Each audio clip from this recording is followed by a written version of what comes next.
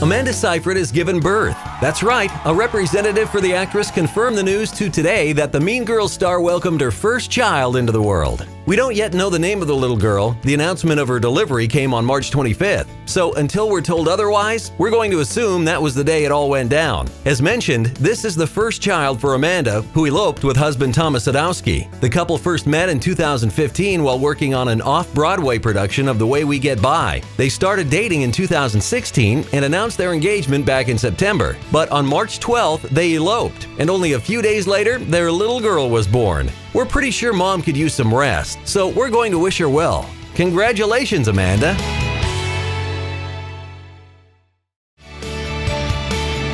From famous and wealthy to the latest Belfie, come subscribe and like us to get the best celebrity news in the game.